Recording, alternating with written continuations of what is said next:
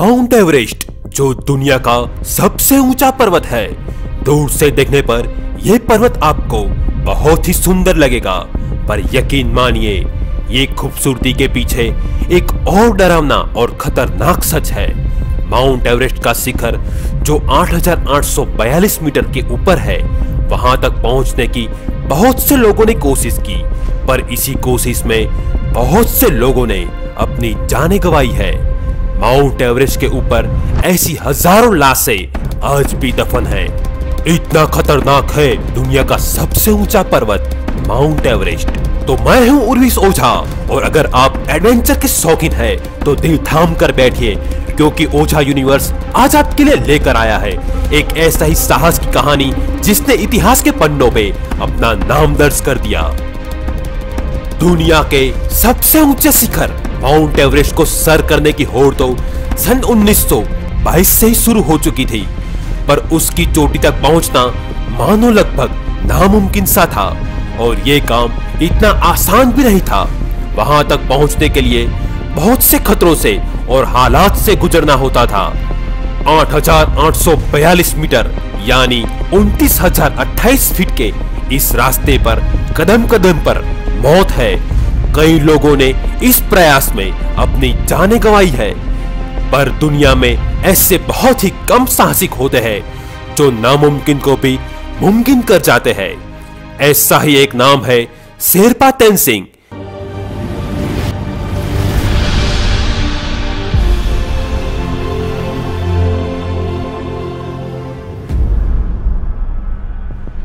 शेरपा तेंसिंग जिनका जन्म 29 मई 1914 को नेपाल के सोलुकुम्बु डिस्ट्रिक्ट में हुआ था। सन उन्नीस सौ बावन में नेपाल के शेरपा तैन सिंह के दिमाग में माउंट एवरेस्ट को सर करने का जुनून सवार हो गया। तब उन्होंने स्विट्जरलैंड के रेमंड लैम्बर्ट के साथ मिलकर माउंट एवरेस्ट को सर करने का प्रयास किया, जो सन 1950 में किए गए अंग्रेज़ों और यूएस के पर्वतारोहियों के बाद की सीरियस क्लाइंबिंग थी। उन्होंने माउंट एवरेस्ट को सर करने की शुरुआत दक्षिण की तरफ़ से की और वो लोग 8,600 मीटर की ऊंचाई तक पहुँच गए। यानी कि माउंट एवरेस्ट के शिखर से सिर्फ़ 250 मीटर दूर। पर बेहद ज़्यादा ठंडी माइनस साठ डिग्री टेम्परेचर ऑक्सीजन की खपत और बहुत बहुत ज़्यादा खराब मौसम की वजह से उनको वापस लौटना पड़ा। मंजिल के इतने करीब पहुंचकर भी उनको खाली हाथ लौटना पड़ा। पर उन्होंने हार नहीं मानी। उनका हौसला इतना बुलंद था कि अगले साल, यानी उन्नीस में, उन्होंने फिर से सात अंग्रेज़ और दो न्यूजीलैंड के पर्वतारोहियों के साथ एवरेस्ट के इस एडवेंचर पर फिर से निकल पड़े। दिन था 9 अप्रैल उन्नीस तैन सिंह और एडमंड हेनरी की टीम ने चढ़ाई शुरू कर दी।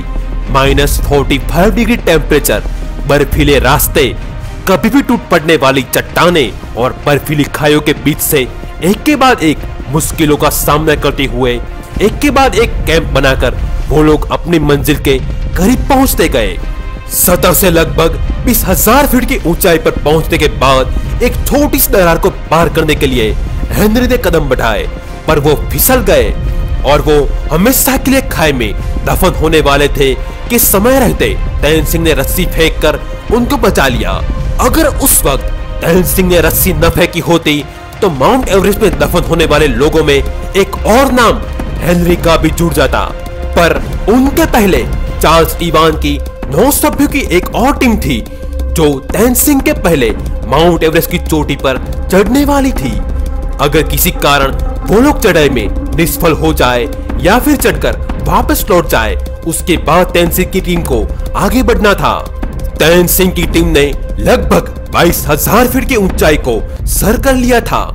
जो माउंट एवरेस्ट की चोटी से ठीक पहले आने वाली आखिरी ज़ोर थी, जो सबसे ज़्यादा खतरनाक मानी जाती है, जहाँ पर पहुँचते पहुँचते कई लोगों ने अपनी जाने गवाई है।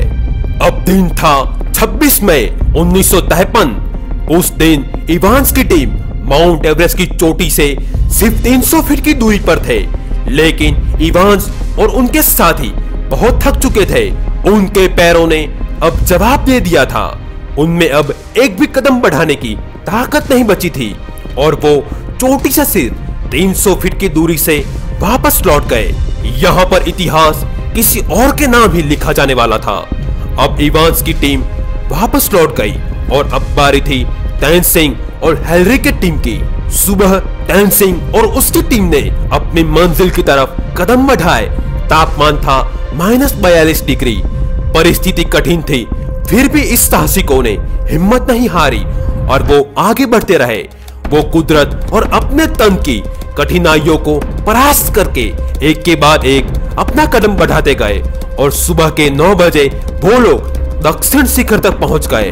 धीरे धीरे उनका ऑक्सीजन खत्म हो रहा था। अब उनके पास उतना ऑक्सीजन नहीं था कि वो इस पूरे अभियान को ठीक से खत्म कर सके। तैन सिंह और उसके साथियों की गति धीमी हो रही थी और कुछ यही हाल हेलरी का भी था। उनके पाँव धीरे धीरे भारी हो रहे थे।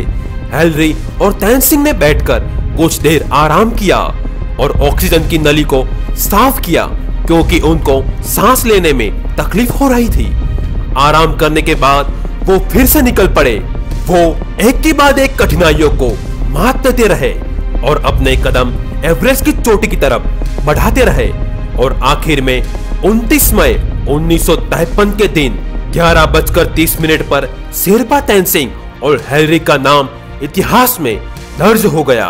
वो लोग दुनिया के सबसे ऊँचे पर्वत माउंट एवरेस्ट जिसकी ऊंचाई 8,842 मीटर की ऊंचाई पर पहुँचने वाले पहले इंसान बन गए, तब उनकी खुशी का कोई ठिकाना नहीं रहा। और ये उस वक्त की सच्ची तस्वीर हैं।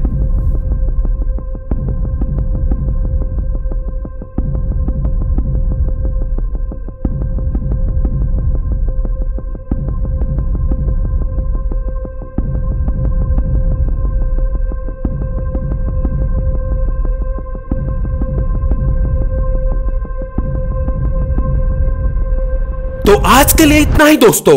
अगर आपको हमारा आज का ये वीडियो पसंद आया हो तो प्लीज़ हमारे वीडियो को लाइक करना तो बिल्कुल बिल्कुल मत भूलिए यार। और हमारे इस वीडियो को ज़्यादा से ज़्यादा शेयर करना मत भूलिए। और यार सब्सक्राइब तो ज़रूर करिए। वो फ्री ही है यार, क्या चाहता है? वो फ्री ही है तो प्लीज़ यार हमारे चैनल को सब्सक्राइब करना मत भूलिए।